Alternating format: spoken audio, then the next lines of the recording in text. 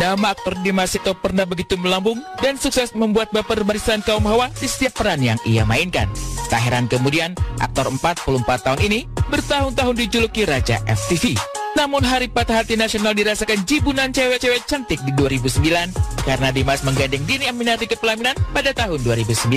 Meski demikian, barisan penggemar beratnya hingga kini masih suka baper setiap kali mengintip aksi-aksi ciamik sang idola. Namun yang mengejutkan, dari digandrungi para penggemar putri karena lusinan romansa dalam sejumlah sinetron dan film, beberapa tahun belakangan bersama sang istri, seorang Dimas Seto mantap berhijrah dan kini rutin mengisi tausiah di berbagai kesempatan. Dengan seperti itu, ya salah satu ikhtiar kita untuk selalu mendapatkan keluarga yang insya Allah selalu di jalan Allah seperti itu ya, insya Allah. Masya Allah ya. Apa yang sudah terjadi pada pasangan Dimas Seto Dini Aminati sehingga tiba-tiba meninggalkan kilau gemerlap dunia hiburan dan memilih hijrah? Benarkah refleksi mendalam akan hidup yang teramat singkat dan kematian sebagai keniscayaan menjadi trigger yang kemudian membuat Dimas Seto meninggalkan segala-galanya demi ibadah?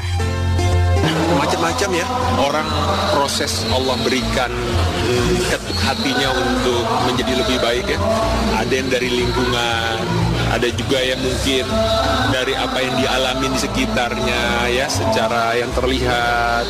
Tapi sebaik-baiknya pengingat itu adalah apa ya? Kalau menurut aku sih karena aku di posisi diingatkan dengan sebaik-baiknya keingat, uh, pengingat kematian. Kalau sendiri orang ceritanya berbeda-beda ya. Kalau aku kan memang awalnya pada saat itu ditinggal sama teman-teman meninggal semua di usia muda. Bisa lebih sering. Ya dia kan nggak tahu kita besok kita diamanahin apa ya. Tapi kan apa yang datang ke kita diamanahin ya apa yang kita amanahin kita bisa melakukannya itu ya dengan totalitas. Ya alhamdulillah sih izin Allah dikasih andil untuk uh, punya kesempatan di dunia pendidikan khususnya pendidikan Al-Quran.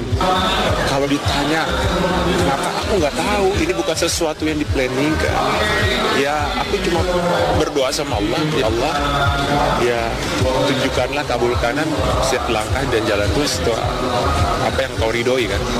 Ya berarti kan kita pengen apa pun yang kita jalan itu menair men, uh, uh, terbaik menurut Allah. Bukan terbaik menurut kita gitu. Yang terbaik kita belum terbaik ya nggak tahu mungkin ini terbaik menurut Allah gitu ya. Aku dikasih ya Allah kami belum diberikan keturunan gitu ya. Hikmah covid kemarin akhirnya kami juga bangunlah rumah tafis gitu ya sama teman-teman.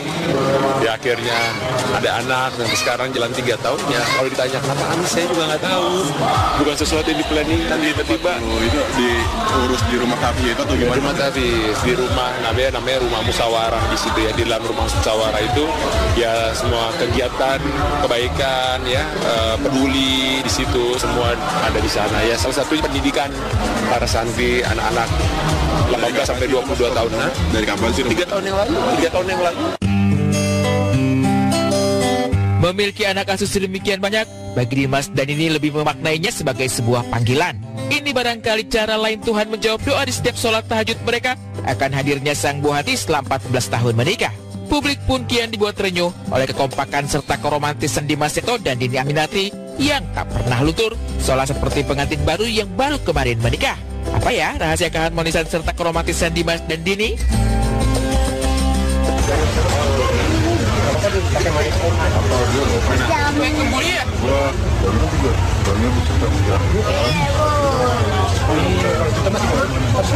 Rasanya Rasanya unik. mantap Gak kayak nasi goreng banget, tapi gak kayak gulai banget. Sukses terus. hatiku. Karena bersamamu semua terasa indah Kunda gulana hatiku hancur sirna Janjiku takkan ku lupa suara. Kau bidadariku dari surga jaga keharmonisannya. Keharmonisan muncul itu kan bukan berarti tidak tanpa masalah. Karena mungkin banyak yang masalah membuat kita jadi harmonis. Karena dengan kita, cara kita menyelesaikan masalah, muncullah sebuah keharmonisan. Jadi salah kalau orang harmonis itu tidak pernah berantem, tidak pernah berbeda pendapat. Justru karena banyak hal-hal itu yang membuat kami bisa seperti ini dilihat orang. Terus yang kedua, ya mungkin karena kita punya tujuan yang sama.